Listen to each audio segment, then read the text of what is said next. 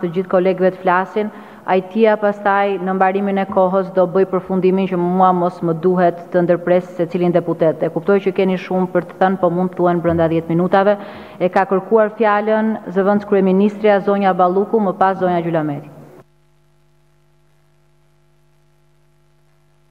Kurse unë shpresoj që të kem mundësi të diluoj sadopak helmin edhe ziftin që i hidhet jo thjesht buxhetit, po Shqipërisë. Dhe gjithçkaje që kemi arritur gjithë bashkë mirë apo keq nga 2013-a deri në sot. Megjithëse për të diluuar gjithë atë helm,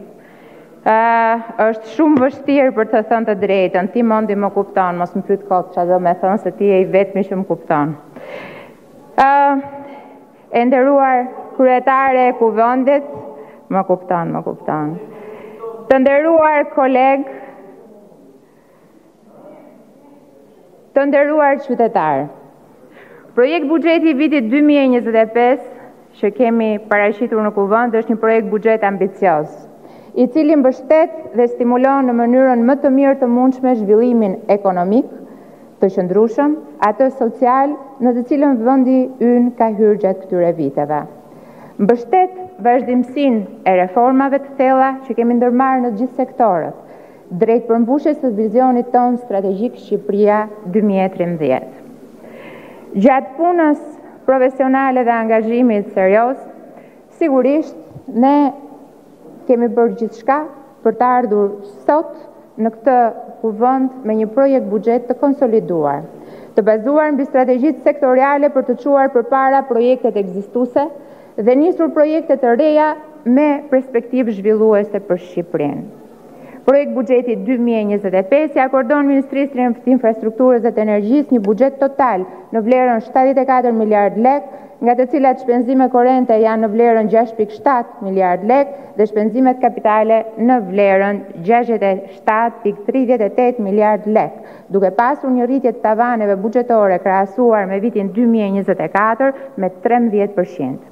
Ky projektbuxhet ka një sinergji mes sektorëve të infrastrukturës dhe energjisë, inovacionit dhe digjitalizimit dhe nxit më së miri ndërlidhjen dhe zhvillimin rajonal si një nga çelësat e suksesit për zhvillimin ekonomik të Ballkanit Perëndimor. Ajo që vlen të theksohet është se tashmë ne jemi në një fazë të re të implementimit të projekteve strategjike. të cilat kanë rrjedhur përmes garave ndërkombëtare dhe bashkëpunimeve të shkëlqyera me kompanitë më në zë europiane. Këto projekte nuk janë më të veçuara apo të bazuara në studime sipërfaqësore, siç ka ndodhur në të shkuarën dhe çka na ka krijuar jo pak probleme në zbatimin e tyre. Tashmë projektet tona zhvillimore janë të mirëhartuara, të programuara me detaje dhe ç'është më e rëndësishmja të ndërlidhura me njëri-tjetrin, duke kontribuar kështu në mënyrë të drejtpërdrejtë dhe në ndërlidhjen rajonale, që është edhe një nga nxitësit më kryesorë të ekonomisë, e në të njëjtën kohë një ndër synimet kryesore të Bashkimit Europian. Korridori 8 dhe Korridori Blu, si dy nga projektet më madhore dhe strategjike të qeverisë shqiptare, me një mbështetje të rëndësishme në projekt buxhetin 2025, nuk janë thjesht dhe vetëm autostrada të shpejtësisë të lartë, por janë korridore ndërlidhëse, që përfshijnë transportin rrugor, atë hekurudhor dhe padyshim gjithashtu linjat energjetike dhe ato digjitale, duke i kthyer kështu të gjitha bashkë në korridoret më të rëndësishme paneuropiane.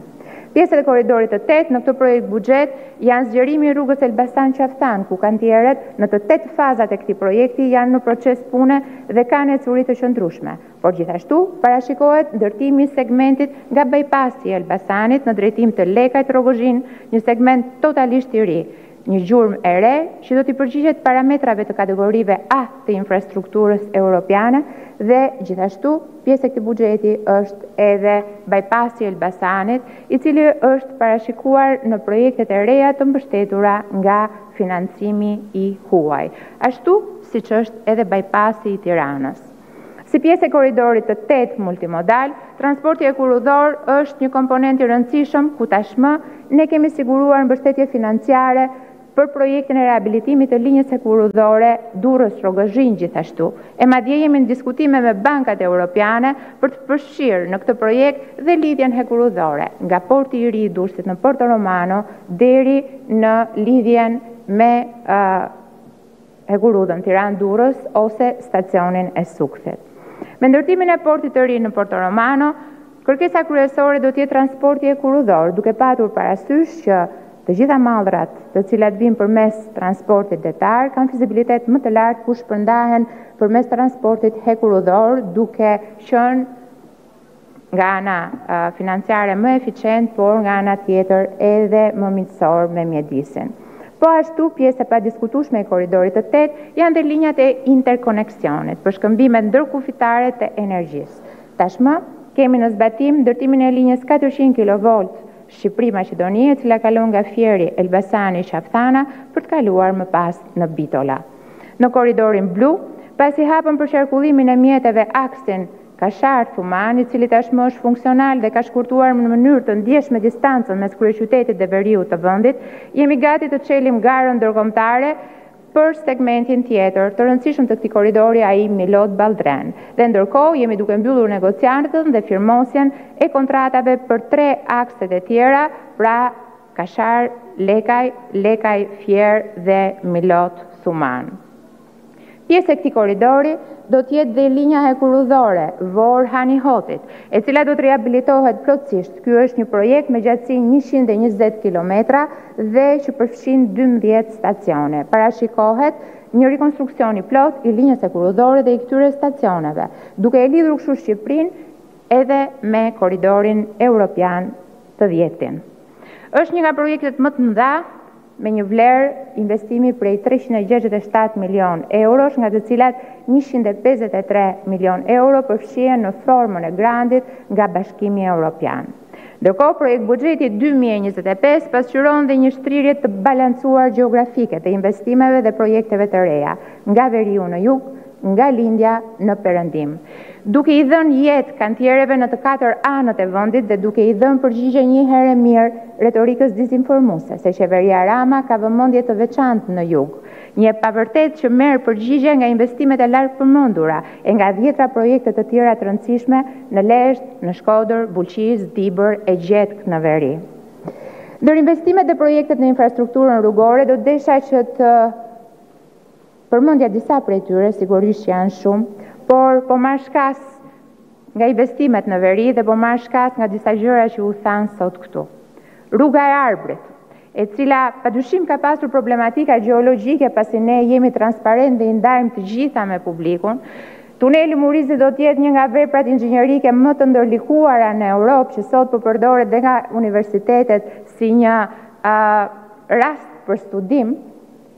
Shumë shpejt do të jetë në përdorim të qytetarëve, por është vetëm tuneli i Murrizit i cili nuk është dorëzuar akoma dhe afati i tij pavarësisht se është shtyrë për pranverën e vitit dy mijë e njëzet e pesë ne shpresojmë që do të jetë funksional brenda këtij viti, por nga ana tjetër sot në Dibër shkohet për një orë e gjysmë ndryshe nga gjashtë orët